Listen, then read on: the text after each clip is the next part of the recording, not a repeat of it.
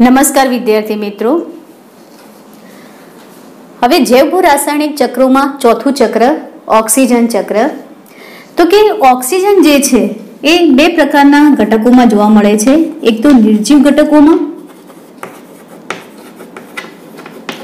અને જૈવિક અણુઓમાં. તો કે કયા નિર્જીવ ઘટકોમાં ઓક્સિજન જોવા મળે? તો એક તો વાતાવરણમાં. અને પૃથ્વીના પોપડામાં. તો કે વાતાવરણમાં ઓક્સિજન ઓટુ સ્વરૂપે છે, જે એકવીસ ટકા છે, પછી વાતાવરણમાં કાર્બન ડાયોક્સાઇડ છે, તો કાર્બન ડાયોક્સાઇડમાં પણ ઓક્સિજન છે. પૃથ્વીના પોપડામાં ધાતુના ઓક્સાઇડ સ્વરૂપે જોવા મળે છે. જેમ કે સિલિકોન ઓક્સાઇડ, તો ધાતુના ઓક્સાઇડ સ્વરૂપે મળી આવે છે. હવે જૈવિક અણુઓ, તો દરેક સજીવ શરીરના બંધારણમાં કાર્બોહાઈડ્રેટ પ્રોટીન, ચરબી. તો આ બધા ઘટકો રહેલા છે અને એ બધા ઘટકોના બંધારણમાં ઓક્સિજન જોવા મળે છે. તો ઓક્સિજન નિર્જીવ ઘટકોમાં અને જૈવિક અણુઓમાં જોવા મળે તો કે કયા જૈવિક અણુઓમાં કાર્બોહાઈડ્રેટ પ્રોટીન, ચરબી, વિટામિન વગેરેમાં અને નિર્જીવ ઘટકોમાં વાતાવરણમાં અને પૃથ્વીના પોપડામાં? તો વાતાવરણમાં ઓટુ સ્વરૂપે અને સીઓટુ સ્વરૂપે જોવા મળે છે અને પૃથ્વીના પોપડામાં ધાતુના ઓક્સાઇડ સ્વરૂપે ઓક્સિજન જોવા મળે છે. હવે ઓટુનો ઉપયોગ કરતી ક્રિયાઓ કઈ? ઓક્સિજનનો ઉપયોગ કરતી ક્રિયાઓ? તો ઓક્સિજન ત્રણ પ્રકારની ક્રિયાઓમાં વપરાય છે. એક તો પ્રાણીઓ શ્વસનની ક્રિયા કરે છે, એમાં ઓક્સિજન વપરાય છે, એટલે સજીવોના જીવનનો એક અગત્યનો ઘટક કહી શકાય. પછી દહન ક્રિયામાં. તો કોઈ પણ દહન એટલે સળગવાની ક્રિયા ઓક્સિજન વગર શક્ય બનતી નથી. અને નાઇટ્રોજનના ઓક્સાઇડ બનાવવામાં. નાઇટ્રોજનના ઓક્સાઇડના નિર્માણમાં. તો આ ત્રણ ક્રિયામાં ઓક્સિજન વપરાય છે. હવે ઓક્સિજન મુક્ત કરતી ક્રિયાઓ કઈ? તો ઓક્સિજન મુક્ત કરતી ક્રિયાઓ, તો કે પ્રકાશ સંશ્લેષણ. તો લીલી વનસ્પતિ જ્યારે પ્રકાશ સંશ્લેષણ કરે, તો વાતાવરણનું કાર્બન ડાયોક્સાઇડ લે છે. અને ખોરાક બનાવ્યા પછી જે વધારાની નીપજ ઓક્સિજન બને છે, એ ઓક્સિજન વાતાવરણમાં મુક્ત કરે છે. તો પ્રકાશ સંશ્લેષણની ક્રિયા દ્વારા વાતાવરણમાં ઓક્સિજન મુક્ત થાય છે. હવે આપણે ઓક્સિજન ચક્ર જોઈએ તો વાતાવરણમાંનો ઓક્સિજન. વાતાવરણમાંનો ઓક્સિજન જે એકવીસ ટકા છે. હવે આ ઓક્સિજન સજીવોમાં કેવી રીતે દાખલ થાય વાતાવરણમાંથી? તો સજીવો શ્વસનની ક્રિયા કરે છે. તો શ્વસનની ક્રિયામાં વાતાવરણનો ઓક્સિજન વપરાય. હવે જ્યારે શ્વસનની ક્રિયામાં ઓક્સિજન લે, તો પછી એ ઓક્સિજન શરીરમાં જઈને શું કરે? તો પચેલો જે ખોરાક છે, એ ખોરાકનું મંદ દહન કરી, એટલે કે કાર્બનિક સંયોજન, ગ્લુકોઝ. તો એ ગ્લુકોઝનું મંદ દહન કરી અને એમાંથી શક્તિ ઉત્પન્ન થાય છે. એ શક્તિ સજીવો જૈવિક ક્રિયાઓમાં વાપરે છે અને વળતો ઉચ્છ્વાસ બહાર કાઢે છે. તો શ્વસનની ક્રિયા કર્યા પછી વળતો જે ઉચ્છ્વાસ બહાર નીકળે, એ ઉચ્છ્વાસમાં બે ઘટકો હોય છે. એક કાર્બન ડાયોક્સાઇડ હોય છે અને બીજું ઉચ્છ્વાસમાં પાણીની બાષ્પ હોય છે, એટલે કે એચ હોય છે. તો એ ઉચ્છ્વાસ વાતાવરણમાં જાય. હવે વાતાવરણમાં ગયેલો જે ઉચ્છ્વાસ છે, કાર્બન ડાયોક્સાઇડ અને એચ એનો ઉપયોગ લીલી વનસ્પતિ પ્રકાશ સંશ્લેષણની ક્રિયામાં કરે. પ્રકાશ સંશ્લેષણની ક્રિયામાં કરશે અને પ્રકાશ સંશ્લેષણની ક્રિયાને અંતે બે ઘટકો બને. એક કાર્બનિક સંયોજન બને એટલે કે ગ્લુકોઝ બને, જેનું સૂત્ર છે C six S twelve O six તો ગ્લુકોઝ બને. અને એ ગ્લુકોઝ જે છે, એટલે કે કાર્બનિક સંયોજન છે, એ પ્રાણીઓ એટલે વનસ્પતિનો પ્રાણીઓ ખોરાક તરીકે ઉપયોગ કરે, તો એ કાર્બનિક સંયોજન પ્રાણીઓમાં દાખલ થાય. અને એ કાર્બનિક સંયોજનમાંથી શ્વસન માટે શક્તિ મુક્ત થાય અને વળતો ઉચ્છ્વાસ બહાર નીકળે. અને એ ઉછવાસ એટલે સીઓ ટુ અને એસ ટુ એ સીઓ ટુ અને એસનું ફરી પાછું લીલી વનસ્પતિ પ્રકાશ સંશ્લેષણની ક્રિયામાં ઉપયોગ કરી એમાંથી કાર્બનિક સંયોજન બનાવે અને ઓક્સિજન બનાવે, પરંતુ એ ઓક્સિજન વાતાવરણમાં પાછો ચાલુ જાય છે. તો પ્રકાશ સંશ્લેષણની ક્રિયામાં બે નિપજ બને. કાર્બનિક સંયોજન બને અને ઓક્સિજન બને. ઓક્સિજન વાતાવરણમાં પાછો ચાલુ જાય છે અને કાર્બનિક સંયોજન બન્યો એ પ્રાણીઓ ખોરાક તરીકે ઉપયોગ કરે.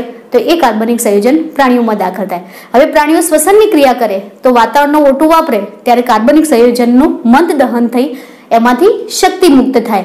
અને એ શક્તિ એ પ્રાણીઓ જૈવિક ક્રિયાઓમાં વાપરે છે અને વળતો જે ઉચ્છ્વાસ બહાર કાઢે એમાં સીઓ ટુ અને એસ હોય. એ સીઓ ટુ ને એસ વાતાવરણમાં જાય એટલે ફરી પાછી લીલી વનસ્પતિ પ્રકાશ સંશ્લેષણની ક્રિયા કરે અને એમાંથી કાર્બનિક સંયોજન બનાવે ઓટું બનાવે.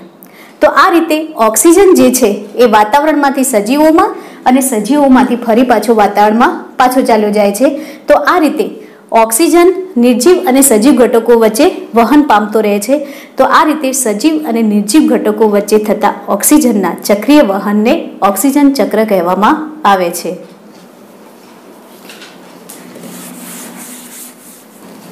હવે આ રીતના બે પ્રશ્નો છે. એમાં પ્રથમ પ્રશ્ન લઈએ ગ્રીન હાઉસ એટલે શું? ગ્રીન હાઉસ અસર કોને કહે છે? ગ્રીન હાઉસ વાયુઓ જણાવો. તો ગ્રીન હાઉસની વ્યાખ્યા મુજબ થાય. ગ્રીન હાઉસ એટલે ઉષ્ણ કટિબંધીય ઉષ્ણ કટિબંધીય વનસ્પતિઓને ઠંડા વાતાવરણમાં. ઠંડા વાતાવરણમાં ઉષ્મા જાળવી. ગરમ રાખવા માટે તૈયાર કરાતા કાચના બંધ આવરણ.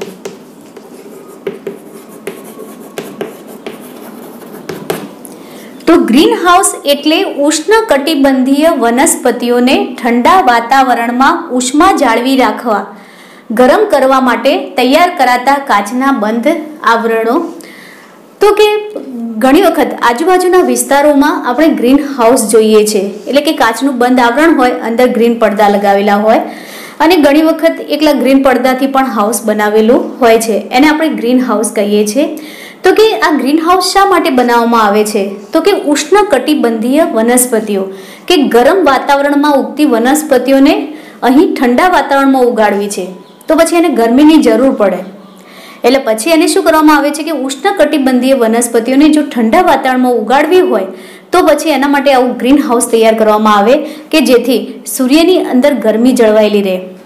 અને એને પરિણામે ગ્રીન હાઉસની અંદરનું વાતાવરણ ગરમ રહે, એટલે જેથી અંદરની વનસ્પતિને પૂરતા પ્રમાણમાં ગરમી મળી રહે અને એનો યોગ્ય વૃદ્ધિ અને વિકાસ થઈ શકે. પછી ગ્રીન હાઉસ અસર કોને કહે છે? તો ગ્રીન હાઉસ અસરની વ્યાખ્યા મુજબ થાય. તો કેટલાક વાયુઓ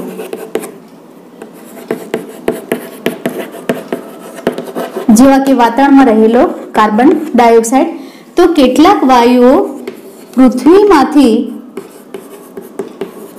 ઉષ્માને બહારના વાતાવરણમાં જતા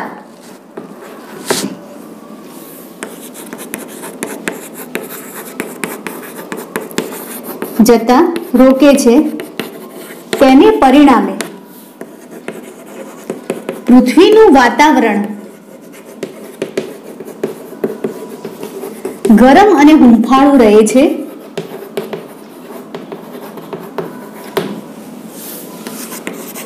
જેને ગ્રીન હાઉસ અસર કહે છે, જેને ગ્રીન હાઉસ અસર કહે છે. તો કેટલાક વાયુઓ જેમ કે વાતાવરણમાં રહેલો કાર્બન ડાયોક્સાઇડ તો આ સૂર્ય છે, આ પૃથ્વી છે. હવે સૂર્યની ગરમી પૃથ્વી પર આવે છે, તો એને પરિણામે પૃથ્વી ગરમ થાય છે. હવે પૃથ્વી જે છે, એ સૂર્યની ગરમીને વાતાવરણમાં પાછી ફેંકે છે. તો પાછી ફેંકાતી બધી જ ગરમી વાતાવરણમાં ચાલી જાય, તો વાતાવરણ અતિશય ઠંડુ થઈ જાય. પરંતુ વાતાવરણમાં કાર્બન ડાયોક્સાઇડ છે. ઝીરો પોઈન્ટ ઝીરો ત્રણ ટકા.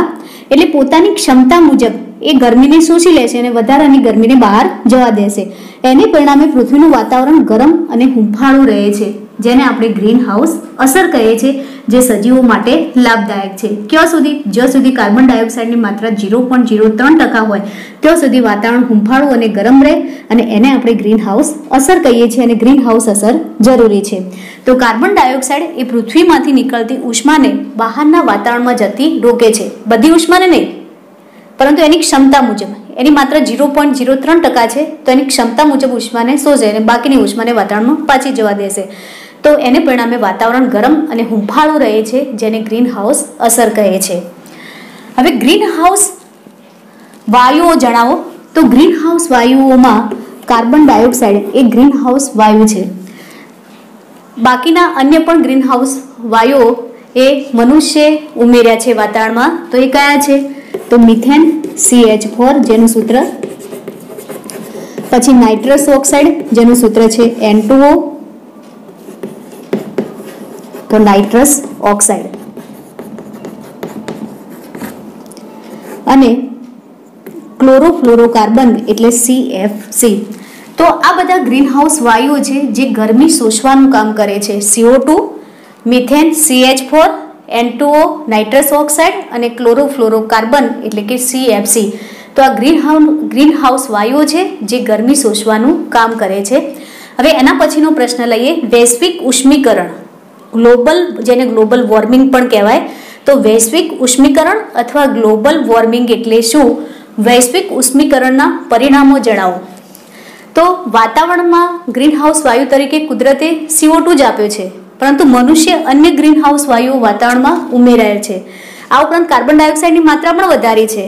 તો નવા નવા ઉદ્યોગો સ્થપાણા છે અને જે વાહન વ્યવહાર છે, જેમાં અશ્મિ બળતણ વપરાય છે, તો અશ્મિ બળતણના દહનના પરિણામે વાતાવરણમાં પુષ્કળ માત્રામાં કાર્બન ડાયોક્સાઇડ ઉમેરાય છે. એટલે કાર્બન ડાયોક્સાઇડની માત્રા વાતાવરણમાં ઝીરો પોઈન્ટ ઝીરો ત્રણ ટકા કરતાં વધી ગઈ છે. એને પરિણામે ગરમી વધુ શોષાય છે. આ ઉપરાંત અન્ય ગ્રીનહાઉસ વાયુઓ પણ વાતાવરણમાં ઉમેરાય છે. તો એને પરિણામે વધુ ગરમી શોષાય અને વધુ ગરમી શોષાય એટલે પૃથ્વીનું વાતાવરણ વધુ ગરમ થાય. અને પૃથ્વીનું વાતાવરણ વધુ ગરમ થવું, એને આપણે શું કહીએ છીએ? ગ્લોબલ વોર્મિંગ અથવા વૈશ્વિક ઉષ્મીકરણ. તો ગ્રીન હાઉસ અસર જરૂરી છે, પરંતુ ગ્લોબલ વોર્મિંગ હાનિકર્તા છે. એટલે કે ગ્રીન હાઉસ વાયુઓની માત્રામાં વધારો થતો પૃથ્વીના તાપમાનમાં વધારો થાય, જેને આપણે ગ્લોબલ વોર્મિંગ કહીએ છીએ. હવે ગ્લોબલ વોર્મિંગના પરિણામો શું થશે? તો કે ગ્લોબલ વોર્મિંગના પરિણામે આકરો ઉનાળો આવે છે. તો દર વર્ષે આપણે જોઈએ છીએ કે ઉનાળામાં તાપમાન એ અડતાલીસથી પચાસ ડિગ્રીની નજીક પહોંચી જાય છે. એટલે આકરો ઉનાળો આવે છે, જે અસહ્ય છે, આપણે સહન કરી શકતા નથી. આ ઉપરાંત આટલા ઊંચા તાપમાનને પરિણામે કે જો આ પ્રમાણે ગ્લોબલ વોર્મિંગની ઇફેક્ટ વધતી જશે, તો પછી ધ્રુવીય પ્રદેશો જે છે, એ ધ્રુવીય પ્રદેશોનો બરફ પીગળી જશે. અને જો ધ્રુવીય પ્રદેશોનો બરફ પીગળી જશે, તો દરિયાની સપાટી ઊંચી આવશે. અને દરિયાની સપાટી ઊંચી આવવાથી દરિયા કિનારાના નજીકના જે વિસ્તારો હોય, એ વિસ્તારો પાણીમાં ડૂબી જશે. તો આ રીતે ગ્લોબલ વોર્મિંગની ઇફેક્ટથી આબોહવામાં પણ પરિવર્તન આવશે. તો આમ ગ્લોબલ વોર્મિંગના પરિણામો બહુ ભયંકર છે, એટલે આ ગ્રીન હાઉસ વાયુઓની માત્રામાં જેમ બને એમ ઘટાડો થાય એ જરૂરી છે. હવે આ રીતનો મુદ્દો છે ઓઝોન સ્તરનું વિઘટન. તો કે આપણી પૃથ્વીથી લગભગ સો કિલોમીટર સુધી વાતાવરણ આવેલું છે એ વાતાવરણ જુદા જુદા ચાર સ્તરોમાં વહેંચાયેલું છે. પ્રથમ સ્તર, જેને ટ્રોપોસ્ફિયર કહેવાય છે. બીજું સ્તર, જેને સ્ટેટોસ્ફિયર કહેવાય છે. ત્રીજું સ્તર, જેને થર્મોસ્ફિયર અને ચોથું સ્તર, જેને મેસોસ્ફિયર કહેવાય છે. તો પૃથ્વીની સપાટીથી પંદર કિલોમીટર સુધી વાતાવરણનો જે પટ્ટો છે, એને ટ્રોપોસ્ફિયર કહેવાય. પંદરથી પચાસ કિલોમીટરનો જે પટ્ટો છે, એને સ્ટ્રેટોસ્ફિયર કહીએ છીએ પચાસથી એંસી કિલોમીટરનો જે પટ્ટો છે, એને થર્મોસ્ફિયર કહેવાય.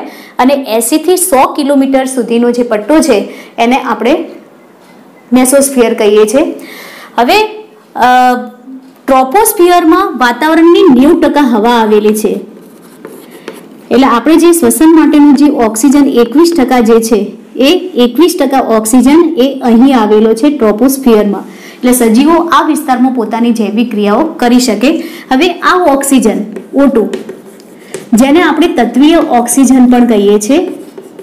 તત્વીય ઓક્સિજન. તો તત્વીય ઓક્સિજન એ સજીવોના શ્વસનમાં એક અગત્યનો ઘટક કહી શકાય.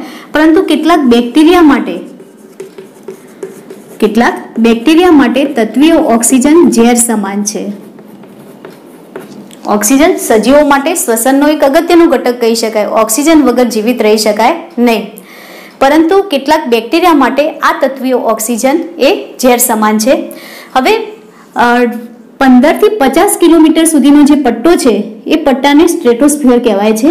એ સ્ટ્રેટોસ્ફિયરમાં ઓઝોન સ્તર આવેલું છે. એટલે પંદરથી પચાસ વચ્ચેના સ્તરમાં ઓઝોન સ્તર આવેલું છે. અને એ ઓઝોન સ્તરનું જે આવરણ જે છે, એ સમગ્ર સ્ટ્રેટોસ્ફિયરમાં નથી ફેલાયેલું. પરંતુ પંદરથી ત્રીસ કિલોમીટર સુધીના વિસ્તારમાં ઓઝોન સ્તર આવેલું છે. પંદરથી પચાસનું જે સ્તર છે, એ સ્ટ્રેટોસ્ફિયર કહેવાય છે અને એ સ્ટ્રેટોસ્ફિયરમાં પંદરથી ત્રીસ કિલોમીટરનો જે પટ્ટો છે, એ પટ્ટાને ઓઝોન સ્તર કહેવાય છે. હવે આ ઓઝોન સ્તર, તો ઓઝોનનું સૂત્ર ઓથ્રી છે, જે ઓટુમાંથી જ બને છે. ઓટુ જ્યારે ઓક્સિજન સાથે જોડાય તો એમાંથી ઓથરી બને છે. તો તત્વીય ઓક્સિજનમાંથી જ ઓથરીનું નિર્માણ થાય છે અને આ ઓથરીને ઓઝોન કહેવાય છે. તો આ ઓઝોન સ્તર આવેલું છે. હવે ઓઝોન એ પૃથ્વી પરના સજીવો માટે ઝેર સમાન છે, નુકસાન કરતા છે. પરંતુ ઓઝોન એ પૃથ્વીની સપાટી પર નથી આવેલો. એટલે સજીવોને નુકસાન કરતા નથી.